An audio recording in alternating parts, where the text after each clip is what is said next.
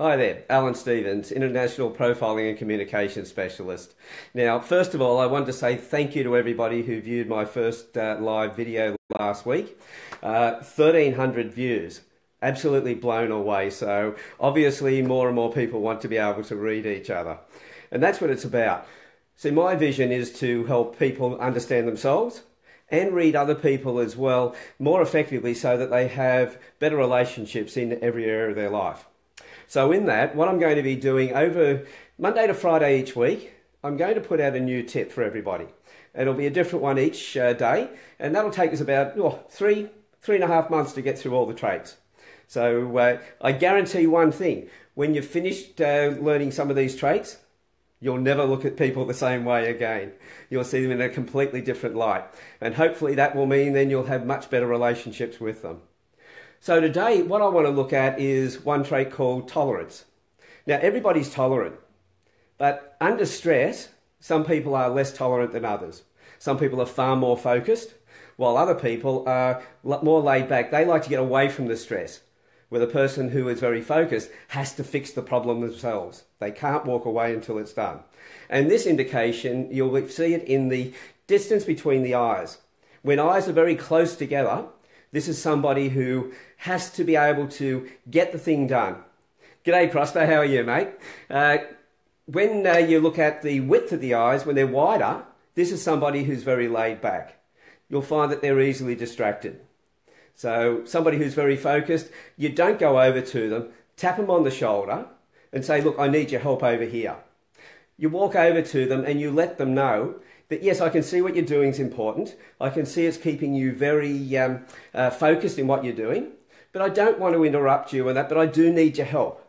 How much time do you need to get that to a level where you can walk away from it? Would five or ten minutes be okay? If they tell you 10 minutes, go back in 11. Always give them that little extra time. Because if you ask them to come over right now, they may come over physically, but their mind's still going to be on the problem elsewhere.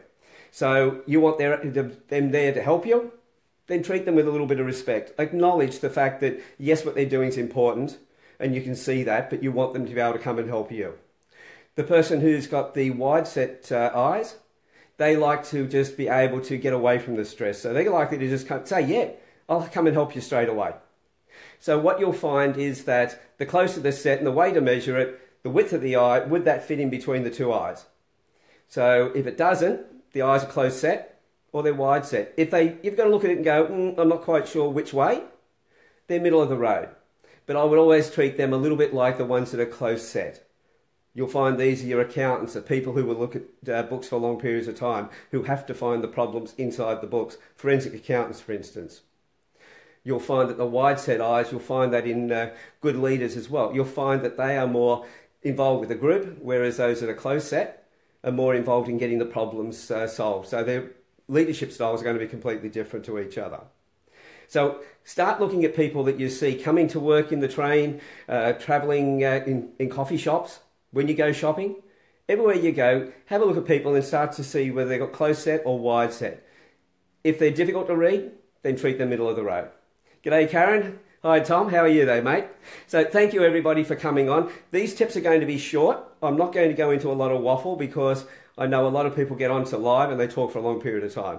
So, short, succinct, and they'll be out each day, roughly about the same time, or depending on what my workflow is, Monday to Friday.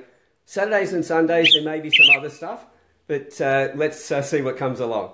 But if you like what you're hearing, please share it, uh, like it, uh, pass it on to other people. The more people watching this, the more I'll, I'll keep them going. Okay? Thank you very much and have a great day. Bye bye.